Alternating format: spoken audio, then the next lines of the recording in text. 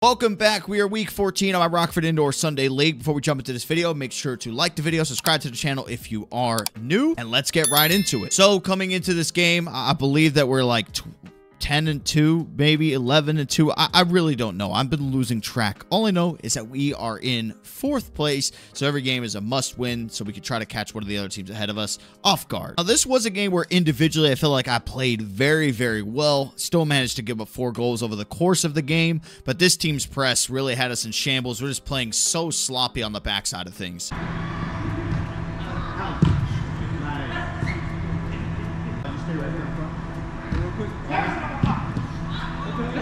And just like that, about three minutes in, we already found ourselves with our first goal of the game.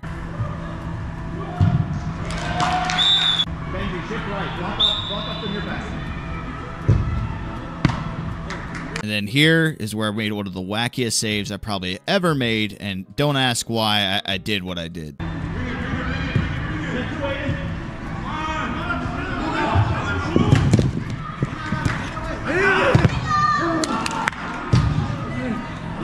It goes against every goalie technique to ever exist to do something like that because you're supposed to put your body in front of it. Of course, you run the risk like the ball hitting the back of your head in that type of situation. To be real with you, I don't know why I did it. Maybe I'm just scared of getting hit, so I didn't want to get hurt. There's a lot of times where I'm scrambling and I don't know where my six yard box is because indoor fields are weird, especially on this one. I, I run out thinking I can't use my hands like I'm running across, but I made the save.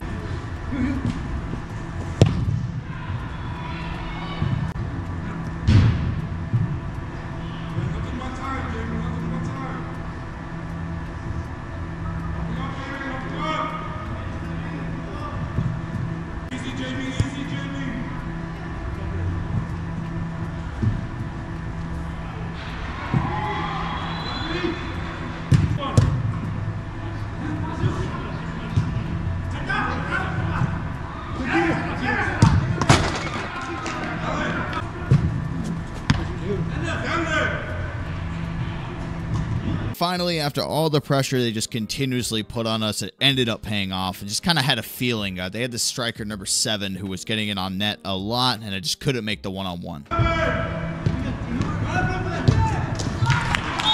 boys. I would say that all year long, this has been the biggest issue for our team, hands down, is that we always play to the level of our competition. When we play teams that are in like the top eight in the playoffs, we either beat them or maybe have a really close game. When we play teams that are in like 12th, 13th, 14th, we really struggle and barely come out with a win.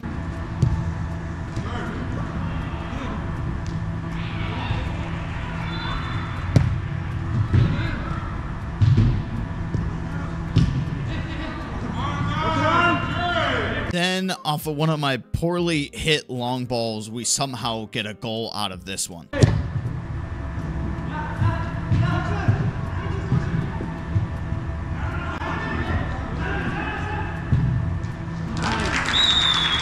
Now, this next distribution annoyed me because look where the ref is standing and look where I could have easily thrown the ball to my striker.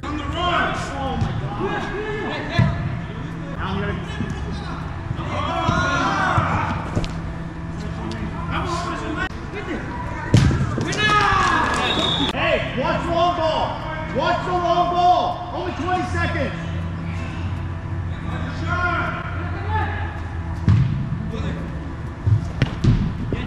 Now, going into the second half, I believe that we were tied 2-2 or we were up 3-2. It's it's one of those, but things didn't get really any prettier for us. The, the same sloppiness kind of went through the whole way. I was exhausted. This is the most pressure I think that I've had on me in the back of the net in quite some time.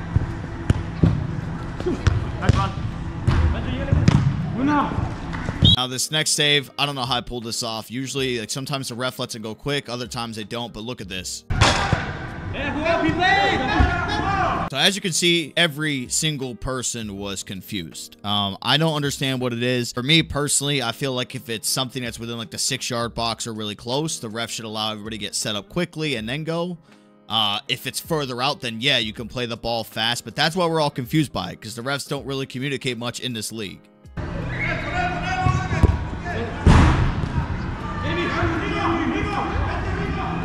then rest in peace to their tripod. So the rest of the, the camera angles are gonna look very funky for the rest of the video.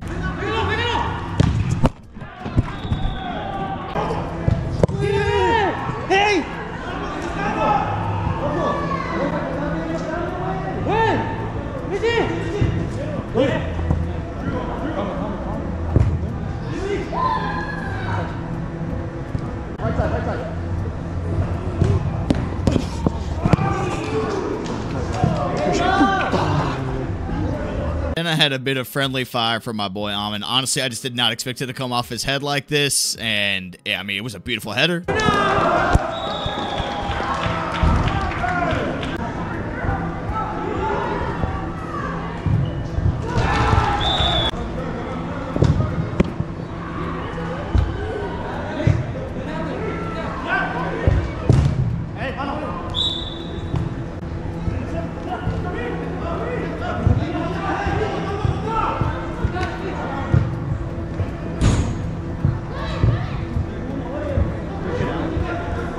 Remember how Amon had scored the own goal? Well, he made up for it. He scored two goals in less than a minute. One beautiful volley, one full pitch goal to close this one out. Ready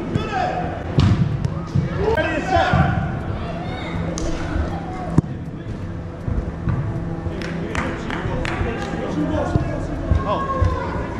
And that is how it comes to a close 7-4 victory. Make sure to subscribe to the channel. More videos coming your way over the next few weeks. I'll see you then.